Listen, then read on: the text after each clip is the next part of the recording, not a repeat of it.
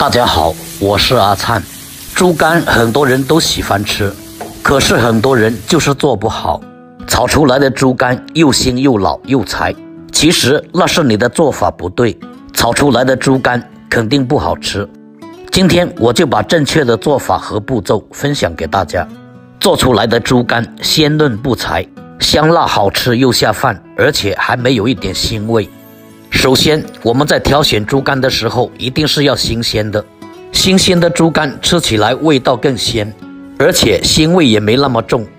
先把猪肝改刀切成薄薄的片子。如果觉得这样不好切的话，可以放冰箱里面急冻半个小时后再切。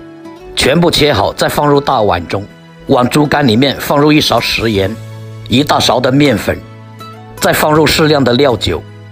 然后再用手不停地给它抓拌两到三分钟，加入面粉可以充分的吸附掉猪肝里面的血水。大家看一下，是不是颜色都变红了？然后再往碗里面加入清水，继续用手给它抓拌一分钟，把吸附在猪肝上面的面粉和血水全部清洗掉。这个过程要给它多清洗几遍，一直给它清洗到水清澈为止。这样的话，猪肝里面的血水基本上已经出来了，腥味基本也就没有了。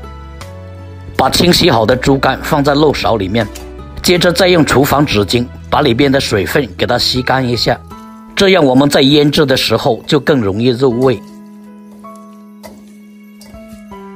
接着再往猪肝里面放入少许食用盐、半勺鸡精、少许的胡椒粉、几滴老抽上色、一勺生抽。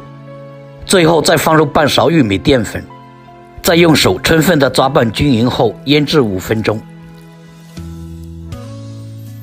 接下来我们再准备一点配料，几颗小米椒全部切成圈，切好再放入盘子里面备用。再准备几颗小米辣也切成圈，切好也放入盘子里面备用。一小块生姜切成薄片，几颗大蒜子也切成片，切好在一起盛入盘中备用。几根青蒜苗切成小段，切好放入碗中备用。接着我们再起锅放入一坨猪油，没有猪油用别的油也可以。油热后，再把姜蒜和辣椒一起放下去炒香，把姜蒜和辣椒的香味和辣味炒出来。炒香以后，再把腌制好的猪肝放进来，然后再开最大的火把猪肝给它划散，一直开大火把猪肝给它炒到七成熟左右。接着再把切好的蒜苗倒进来。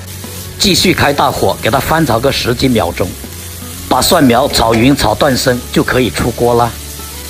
就这样，一道简单又好吃的小炒猪肝就做好了。把它盛入盘中，就可以美美的享用了。小炒猪肝这样做，香辣开胃，非常的下饭，鲜嫩不柴，而且还没有一点腥味，看着就特别的有食欲。有喜欢的朋友就收藏起来试一试。今天的视频就分享到这里了。如果觉得我的视频对您有一点点帮助的话，就麻烦伸出您的发财手，给我点个赞吧。非常感谢您的支持，我们下期视频再见。